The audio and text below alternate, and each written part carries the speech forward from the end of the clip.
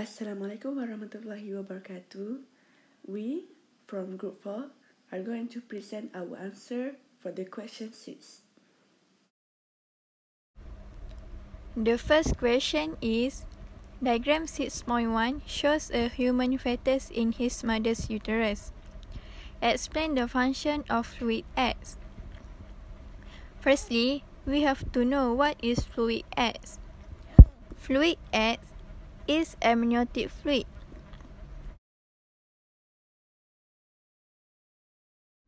Amniotic fluid acts as cushion that protects if mother falls or physical harm or outside pressure.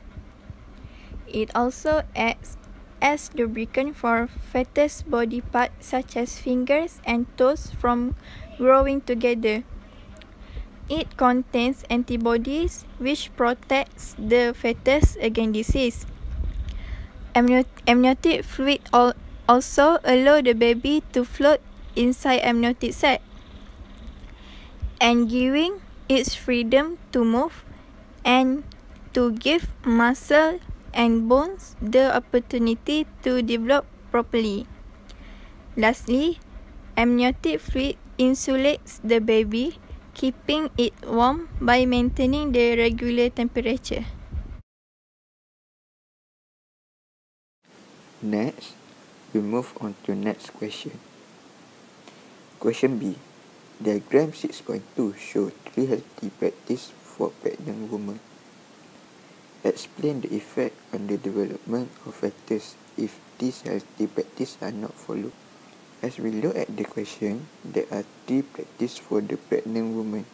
So, we have to do the answer using the stimulus given, which is smoking, drugs, and alcohol.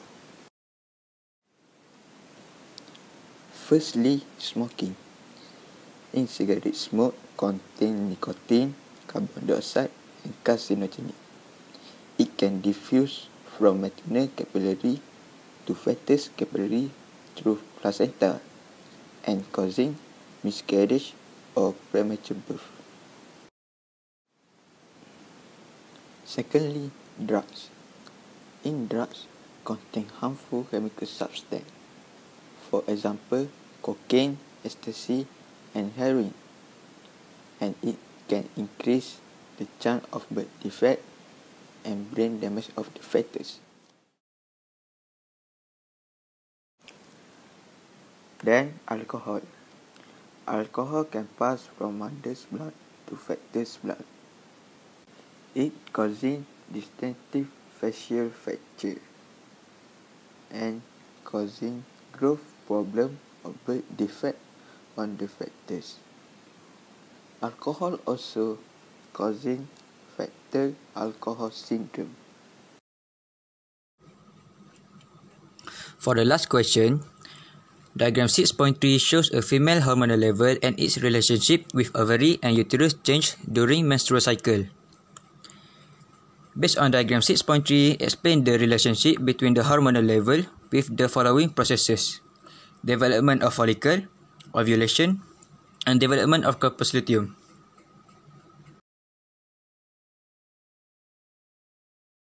First, we need to understand and identify the hormone involved in the diagram and try to relate it with the relationship between the four different graphs in the diagram. For the first process, which is development of follicle, it starts when pituitary gland start to secreting follicle stimulatory hormone FSH and the level of FSH is increasing from day 1 to day 5. Its level will be maximum on day 5 and day 13 and FSH will stimulate the primary follicle to develop into secondary follicle and the secondary follicle will develop into Garfield follicle. The developing of follicle will secrete estrogen. For the next process, which is ovulation, the level of estrogen increase from day 6 to day 14. The level of estrogen is maximum on day 12. Estrogen stimulates pituitary gland to secrete LH, LH level become maximum on day 13. Graafian follicle ruptures and secondary oocyte release from Graafian follicle, which causes ovulation to occur on day 14. Last but not least, for the third process, which is development of corpus luteum, after day 15, the Garfield follicle change into corpus luteum, stimulated by luteinizing hormone LH, and the corpus luteum will start to secrete progesterone.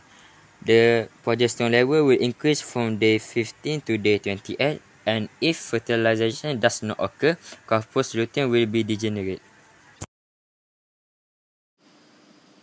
That's all from us. Thank you.